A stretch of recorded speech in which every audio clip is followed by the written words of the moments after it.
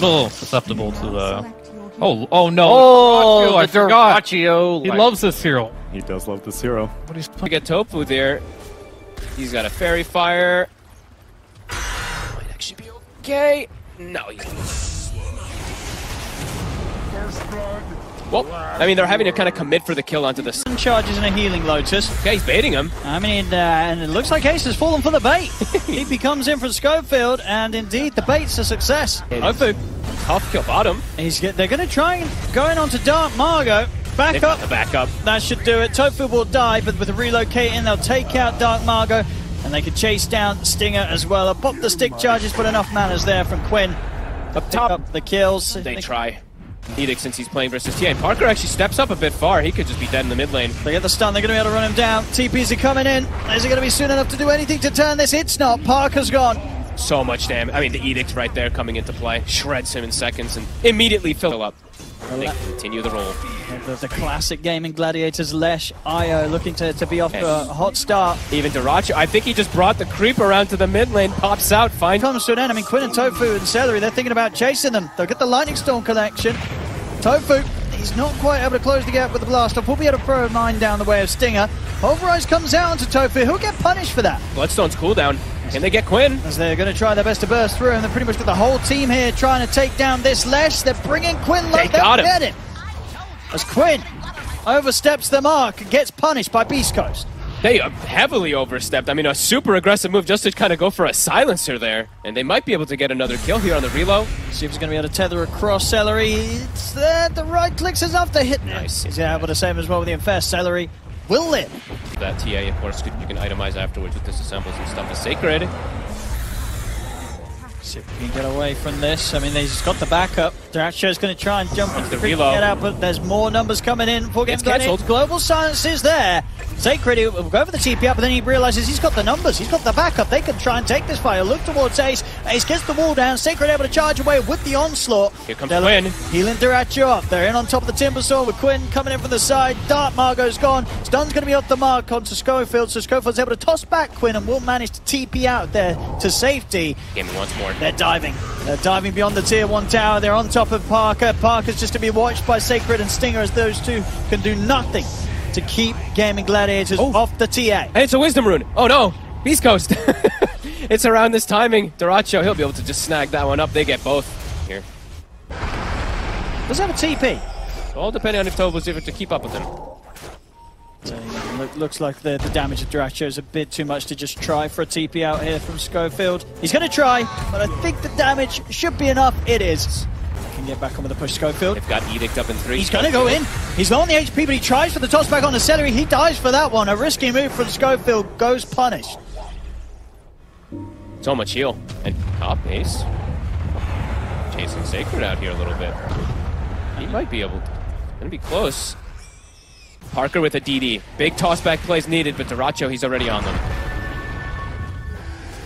Managed to hold him back with the Avalanche. Dyrachyo tries to continue to chase. He's going to have backup from Seleri and Quinn with the relocate. They, they're thinking about diving the tier 2, but the mass TP is coming from Beast Coast. They get the toss combat. Nice connection. They get the pulverize as well. Dyrachyo's dead.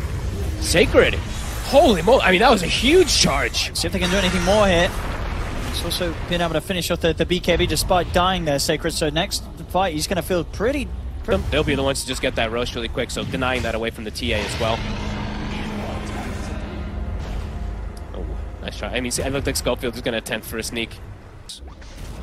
Gotta make sure they get those on these posts. Oh, they actually catch they him. found him. Wounds, how much it does heal. Killing Quinn's going to be a real big problem. They're going to try. They try the toss back. Ooh, they bring him down pretty low, but not enough. And Sacred, he'll charge in, looking to get on top of Seleri. Global. Global as well. They'll take Seleri out. Okay. And they... They're cutting off DarkMago. I don't know if he's got any way out this one.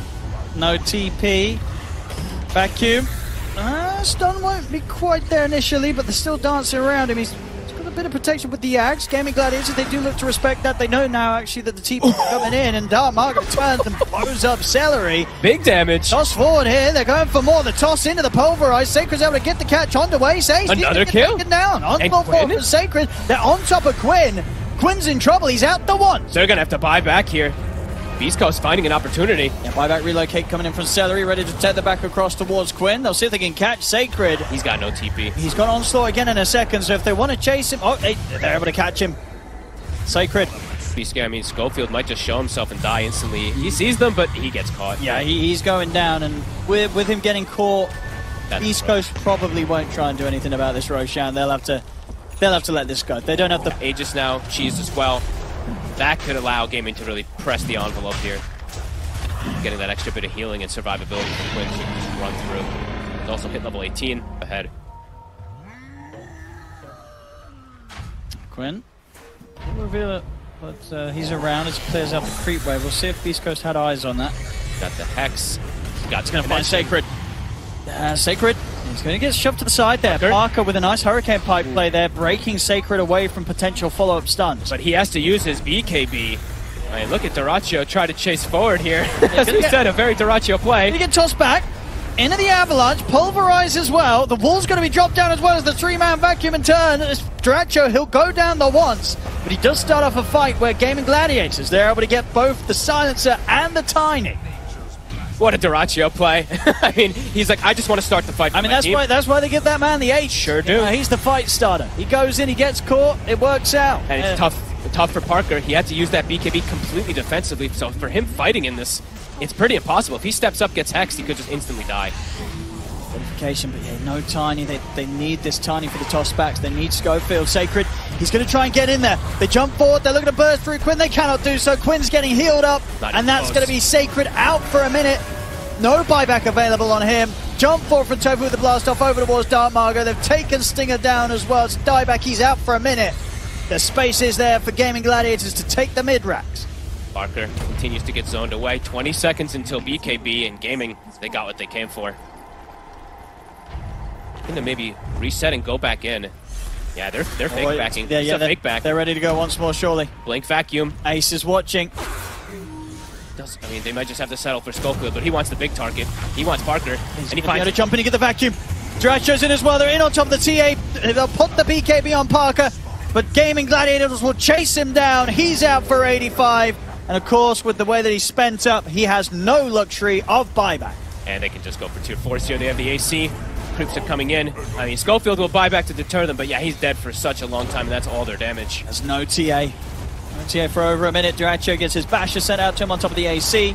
At least a second set of racks. They do still have a tier 2 top Beast Coast, so Mega Creeps won't be an, uh, an available option quite yet.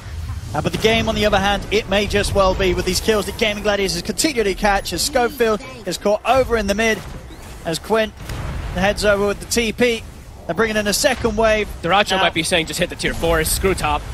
I mean, they've got still such a long time where it's just down to the three heroes of Beast Coast to try and hold back the full lineup of Gaimin Gladiators. Back Ace, one, two. He's got the catch. There's the follow-up hex. They're in on a Stinger. Stinger's out as well for good. As Gaimin Gladiators, they're going to get even more. Jump forward, with the blast off over towards DarkMago, who'll get off the shield with the Aghanims, but he'll get destroyed by the overwhelming damage of Gaimin Gladiators. There's only Sacred left as he's bullied back to the fountain. The tier 4s will fall. There's 15 seconds, and they will have Parker back up. We'll see if he gets a chance to show his face once more in this game, but it looks like the towers, the Ancient, they're going down too quickly. The tier 4s are gone. Ancient exposed. Five seconds until he's back, and it's five seconds too long. GG is called as Gaimin Gladiators take game three, and with that, this best of three, it's theirs.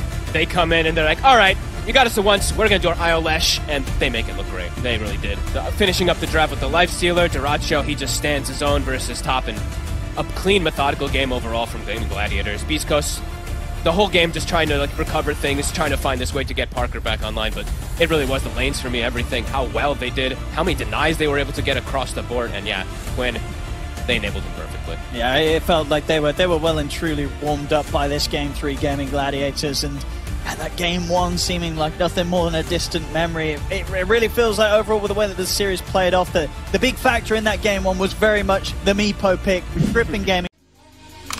Maybach music.